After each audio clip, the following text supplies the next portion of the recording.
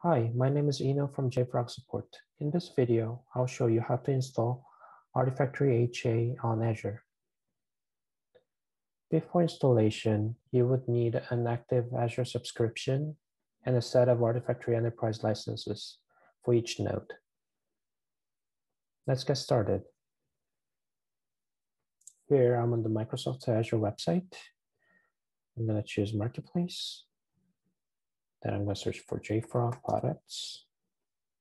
And I'm going to use Enterprise Artifactory Registry template.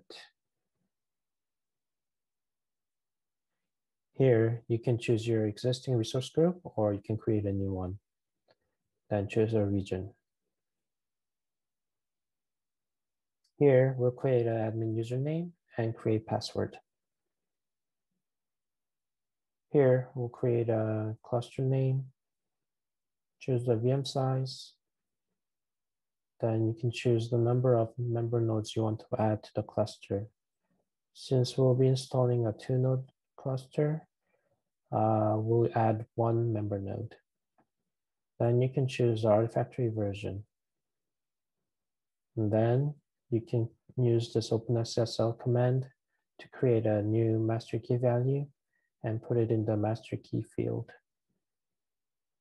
And as we will be installing a two node cluster, we need two enterprise licenses. Next. Here we can configure database. For this demo, we'll be installing a Postgres database. We'll give a database a name, a username, and password. For storage, we'll use the default value. Now we have passed the validation and we can create a new Artifactory instance.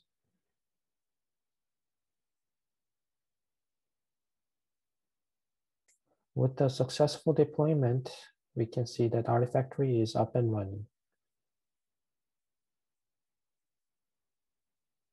Thank you for watching this video. I hope you have enjoyed it.